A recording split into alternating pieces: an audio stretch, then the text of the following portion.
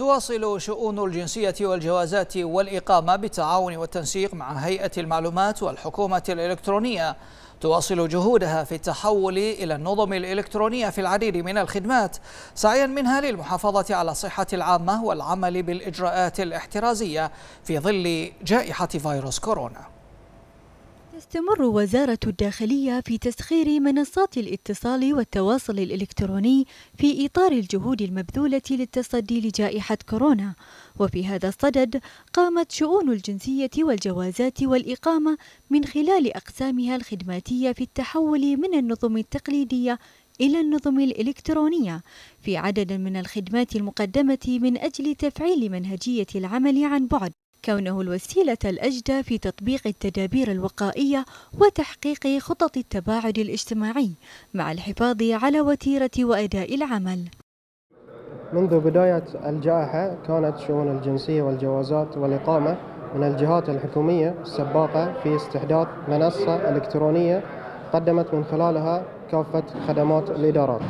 إدارة الجوازات بدورها قدمت خدمة إصدار جواز السفر وخدمة إصدار تذاكر المرور وخدمة إصدار جواز بدل فاقد وخدمة استبدال جواز بدل تالف للجوازات بنوعيها العادي والخاص عبر هذه المنصة. كذلك بالإمكان الدخول لتقديم خدمة استبدال جواز السفر العادي وخدمة استبدال جواز السفر الخاص من خلال الدخول على نفس الموقع وسيقوم الموقع بتحويلك آه، تلقائيا إلى موقع الحكومة الإلكترونية. ومع دخول فصل الصيف وعودة حركة الطيران تذكر إدارة الجوازات السادة المواطنين الكرام على ضرورة التأكد من صلاحية جواز السفر قبل فترة كافية من موعد السفر.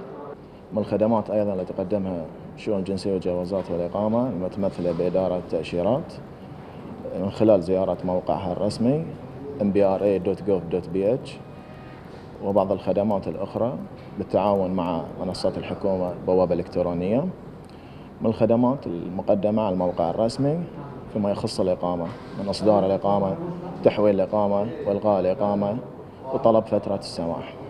وفيما يخص ملصق الإقامة بيكون في أحد مراكز الخدمة أو قبل مغادرة مملكة البحرين في أحد المنافذ. فيما يخص التأشيرات الدخول مباشرة على موقع الحكومة البوابة الإلكترونية لطلب إصدار خدمة التأشيرة تحويل التأشيرة إلغاء التأشيرة وطلب تمديد الزيارة.